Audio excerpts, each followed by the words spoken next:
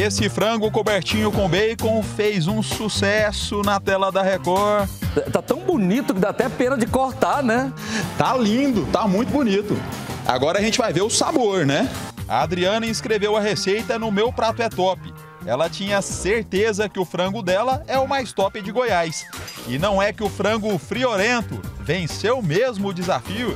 Dona do melhor frango de Goiânia e região metropolitana é. É. A Adriana!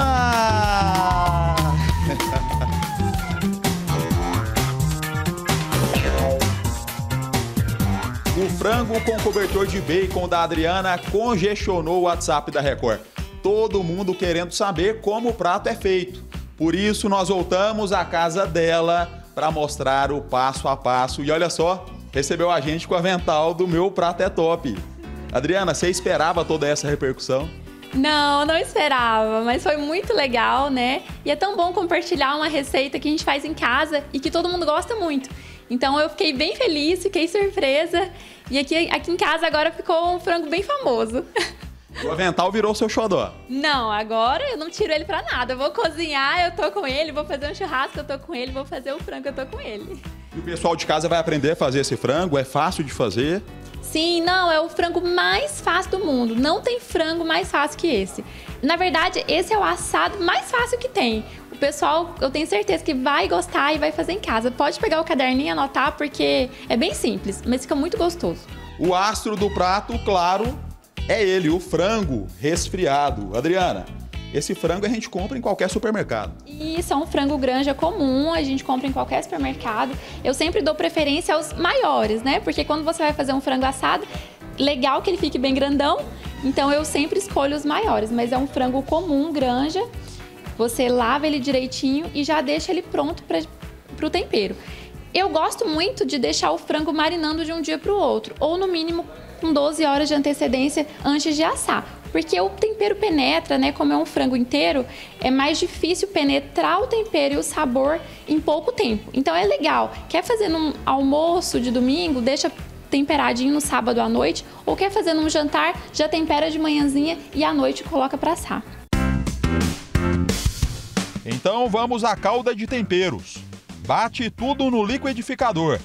100 ml de azeite de oliva, 8 dentes de alho, uma xícara de chá de caldo de laranja, uma xícara de chá de cheiro verde, cebolinha e salsinha, uma cebola, 5 colheres de mostarda, caldo de dois limões. E temperos secos, uma colher de páprica defumada, uma colher de urucum, meia colher de pimenta calabresa, 3 colheres de sopa de sal rasas. E uma colher de orégano. Depois despeja no frango e leva para a geladeira. Ah, e coloca umas batatinhas junto. Deixa um dia inteiro marinando. Aí tira da geladeira e prepara para assar. Pessoal, aquela batatinha que a gente temperou junto com o frango, geralmente o pessoal coloca para assar com o frango, mas eu não gosto tanto. Eu gosto que ela fique bem sequinha, um tempero bem agrupado, então eu geralmente eu coloco ela na air fryer. Então ela vai assar aqui com aquele temperinho do frango, ela ficou marinando junto com o frango.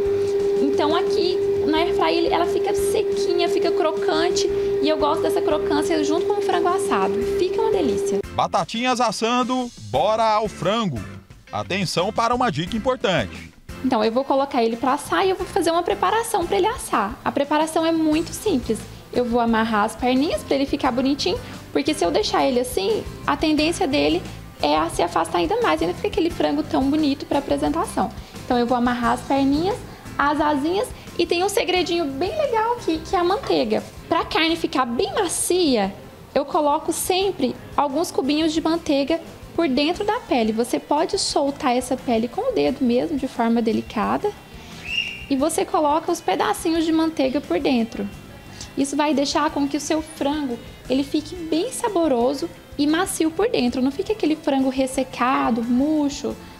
Ele vai ficar uma carne, principalmente essa do peito, que, gera, que geralmente é uma parte que é difícil pegar sabor e maciez. Então, com a manteiga, ele vai ficar maravilhoso. Quando vocês forem fazer a caminha de bacon, legal fazer em cima já do sulfilme, de um plástico, Você pode usar qualquer plástico que você tiver em casa. Porque quando você for retirar ela daqui para passar pro assado, fica mais prático, ó, fica bem facinho de tirar. Três horas de relógio e o frango está assado.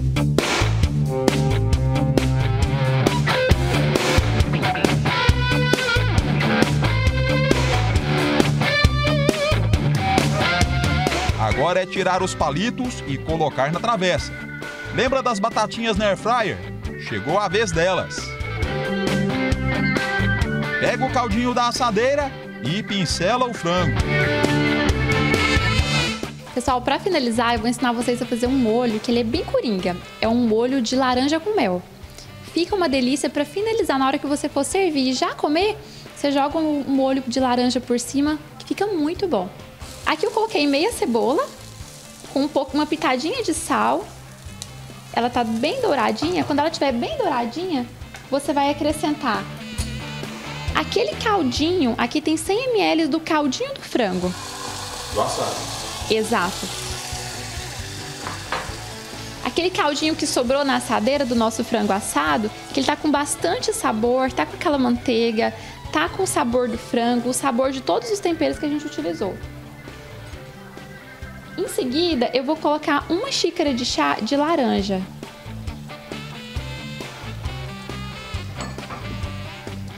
Aqui eu fiz a casquinha da laranja com dois cravinhos que vai dar o aroma do nosso molho. E aqui eu tenho meia xícara de chá de vinho branco. Esse molho eu vou deixar ele ferver mais ou menos uns 10 minutinhos.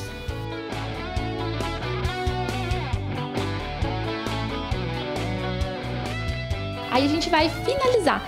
Quando esse molho já estiver bem fervido, ele deu uma reduzida, o que, que eu faço? Eu tiro essa casquinha, eu retiro ela, eu bato ele aqui no liquidificador e eu peneiro, para ele ficar bem aveludado. A gente vai fazer isso agora para vocês verem. Para finalizar, volta o molho pro fogo e coloca uma colher de chá de amido de milho e duas colheres de sopa de mel. Mexe bem por 5 minutos. Mais uma vez, estou eu aqui frente a frente com o frango para tirar o cobertor dele. Mas antes, eu quero saber do Agnaldo. Agnaldo, fiquei sabendo que você recebeu mensagens, tinha gente duvidando que foi a Adriana que fez o frango pro meu prato é top. Que história é essa? Sim, muitos amigos estavam me perguntando se era ela mesma que tinha feito esse frango. E eu falei que é sim, é ela que fez. E hoje tem aí o passo a passo para vocês. Acharam que ela tinha pegado na sua padaria? Sim, sim, eu que quero pegar o frango dela e levar para padaria. Eu vou levar, vender esse frango lá. Adriana, então chegou a hora da prova de fogo. Vou provar pela segunda vez o seu frango com cobertor de bacon. E ó, tem mais uma coisa. Se não tiver top, você vai perder seu avental. Ai, meu Deus. Não, esse avental eu não perco mais não, porque eu tenho certeza que tá top, foi a mesma receita, os mesmos ingredientes. Se você fizer em casa, também vai ficar igualzinho. Vamos lá então. Chegou a hora da verdade.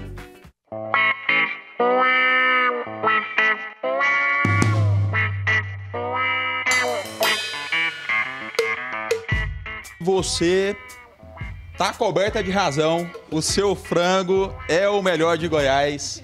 Muito bom, parabéns. Fica aí a dica para você fazer em casa, vai ser sucesso. Lá na casa do telespectador também, tenho certeza, né, Adriana? Ah, com certeza. Vai fazer sucesso, uma receita simples, mas muito saborosa e prontinha para um dia muito especial. Então agora vocês me dão licença que eu vou comer mais, tá? Valeu, até mais.